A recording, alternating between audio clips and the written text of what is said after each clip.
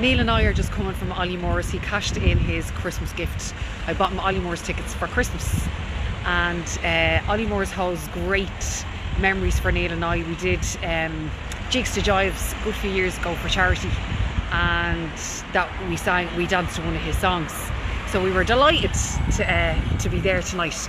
But I wanted to do a quick live stream about one of the things that Olly Murrs uh, brought up in the middle of his gig I was really, really impressed by him from start to finish anyway. He's a fantastic performer and he's a great storyteller. Neil said he never heard a performer speaking as much in a singing gig in his life, but you really kind of get a feel for who he is. Um, speaks about his grandmother and they put up the clips of his audition for X Factor. But one thing that he spoke about was his mental health, and this month is Mental Health Awareness and uh, Stigma Reduction Month and he spoke uh, very candidly and for a long time about two years ago he had serious mental health issues. And he said just want to let you all know that you're not on your own you know seek help. It's it's out there for everybody.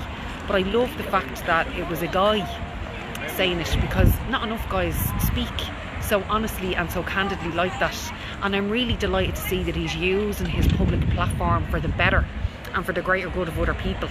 Um, and he, he spoke about the fact that he had to go for a couple of sessions with a therapist. So I just wanted to share that with us and let you know that it was a fantastic gig. If you ever get an opportunity to see Olly Murrs, it's his birthday tomorrow, he's playing in Belfast.